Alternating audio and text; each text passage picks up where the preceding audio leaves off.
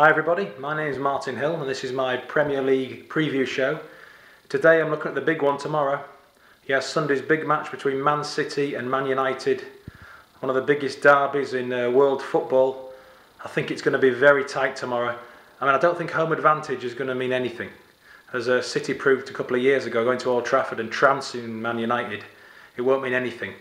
But it's a really interesting uh, matchup at the moment, this game. I mean, there's hardly any weaknesses in both teams.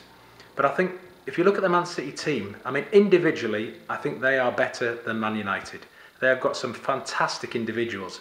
I mean, if you just have a quick look through the team that played the other night uh, against uh, Plzen in the uh, Champions League game and got a 3 0 win, I mean, you got, you know, Hart in goal, you got uh, Zabaleta at right back, you got uh, Kolarov at left back, you got Kompany, who just came back. A massive uh, thing for City, him coming back. You got Nastasic playing next to him there.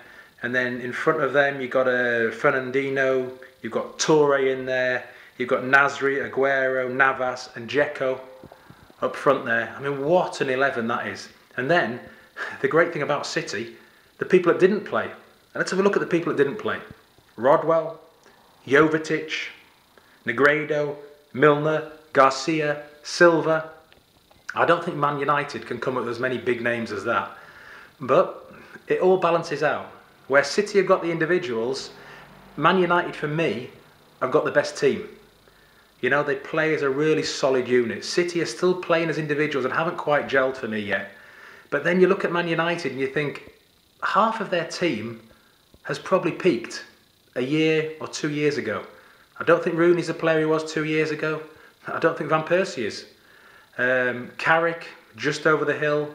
Vidic with injuries, that's pushed him over the hill. Uh, Ferdinand, definitely not as good as he was two or three years ago. Evra, not as good as he was two or three years ago. So Man United have got five or six players who peaked two or three years ago.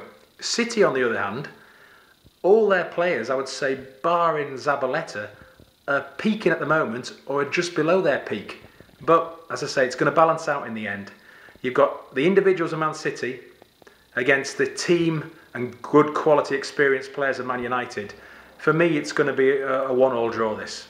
I mean, there isn't many goals in the Premiership this season. It's been a really dull Premiership so far for me. 78 goals in 72 games. Unbelievable, really, when you think, if you look at the Spanish League, 117 goals in 72 games.